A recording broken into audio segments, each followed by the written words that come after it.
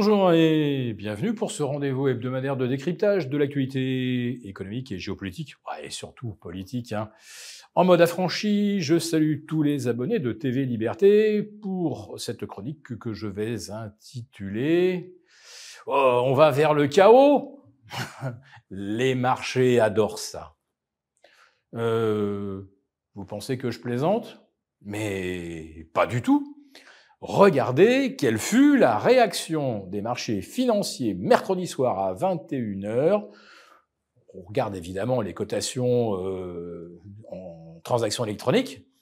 Eh bien, la réaction, elle fut inexistante, absolument inexistante, comme, comme pour un fait accompli, un énorme non-événement avec un CAC 40 qui a perdu, allez, jusqu'à 0,3% vers 21h30 avant de les reprendre dès jeudi matin. Quant au marché obligataire, non seulement ils n'ont pas paniqué, mais le rendement de nos OAT s'est encore détendu. Il était de 2,89 euh, mercredi dernier, il était tombé à 2,87 le jeudi soir, c'est-à-dire en fait près de 15 points de moins que 10 jours auparavant, lorsqu'on a commencé à parler d'un risque de vote de la motion de censure conjoint par LFI et le Rassemblement national.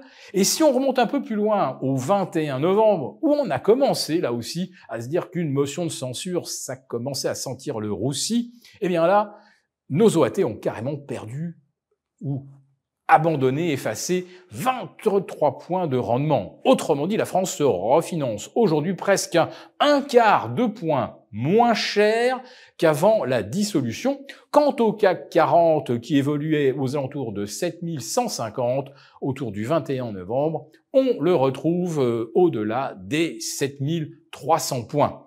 Alors, quand on vous parlait de chaos, de fleuves de sang, d'invasion de grenouilles, de moustiques et de temps, euh, on s'aperçoit en fait que le lendemain de la, de la euh, censure a été d'une incroyable banalité sur les marchés.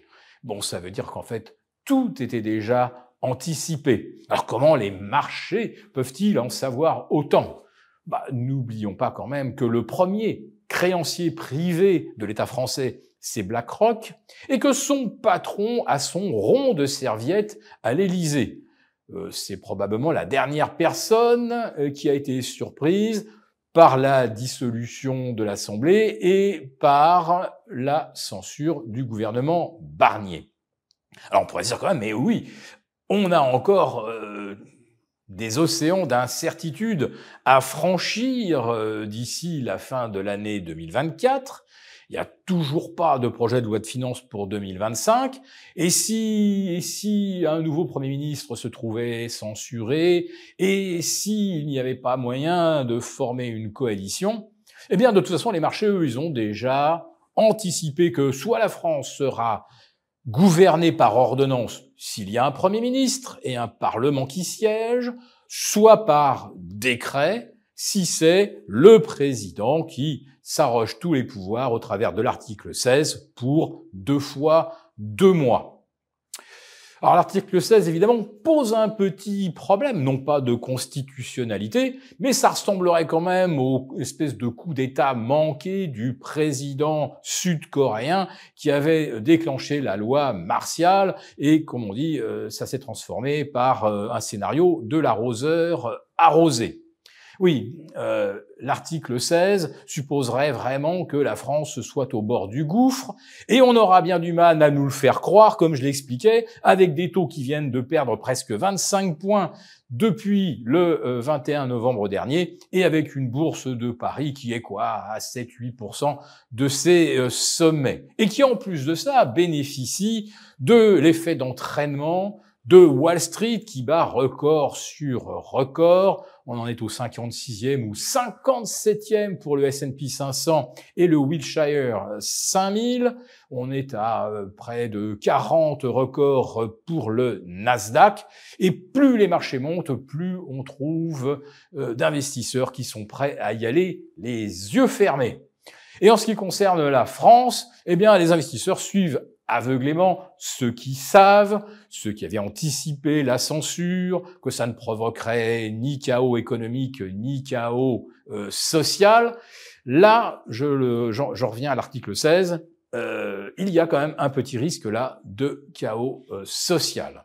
Mais les marchés semblent, eux, ne pas y croire. Et les cambistes non plus, puisque l'euro, finalement, n'a quasiment rien perdu. Là encore, avec la chute du gouvernement Barnier. Alors, je n'irai pas jusqu'à dire que les marchés aiment vraiment le chaos, mais en tout cas, le chaos technique du gouvernement, ça a aussi mis chaos, eh bien, le projet de surtaxe des bénéfices des entreprises, côté au SBF 120 ou CAC 40, euh, sur 2023 et 2024. Et ça gèle également les, euh, les appels à euh, réduire un petit peu les avantages fiscaux dont bénéficient les entreprises, notamment au travers du CICE, parce que tous les calculs montrent que ça coûte pratiquement 60 milliards euh, à l'année au budget, et que euh, si vous faites le compte sur 7 ans écoulés, on serait à pas loin de 500 milliards de cadeaux aux entreprises et autant de déficits supplémentaires, bah presque la moitié finalement des 1000 milliards qu'on a en plus depuis 2007. Donc, tant qu'aucun gouvernement ou qu'aucun président tout-puissant ne n'envisage euh, euh, de ponctionner quelque part euh, ou d'impacter les entreprises, eh bien, les marchés sont très contents. Alors, qui va morfler, évidemment, si ce ne sont pas les entreprises qui contribuent au redressement de nos finances, eh bien, ça veut dire que c'est le contribuable qui va le faire. Alors, Oubliez tout de suite les fables du type les, fonctionnaires ne seront plus payés, les médicaments ne seront plus remboursés, euh, les euh, opérations chirurgicales seront euh, reportées parce que l'hôpital n'aura plus n'aura plus de budget. Tout ça, c'est des fadaises. En revanche, ce qui va arriver très très simplement, c'est que comme on ne va pas arrêter de payer les fonctionnaires ni euh, de financer les retraites et la santé, eh bien ça veut dire qu'on va en fait retirer des dotations aux collectivités locales, c'est-à-dire euh, régions, départements, communes. Ah, tiens, le mot commune, ça doit vous faire penser à taxe foncière. Et évidemment, c'est l'argent qui vient d'en haut qui ne viendra plus, justement, alimenter euh, les caisses euh, des, euh, des bourgades, des départements. il faudra donc qu'ils trouvent leurs ressources sur place en faisant quoi? Eh bien, bien sûr, en augmentant les taxes foncières, mais ça ne sera pas l'État. Et oui, ça sera à nouveau la mairie qui sera accusée d'avoir littéralement empêcher de se chauffer ou de se nourrir le pauvre retraité qui d'ailleurs risque de voir sa euh, pension de retraite non revalorisée.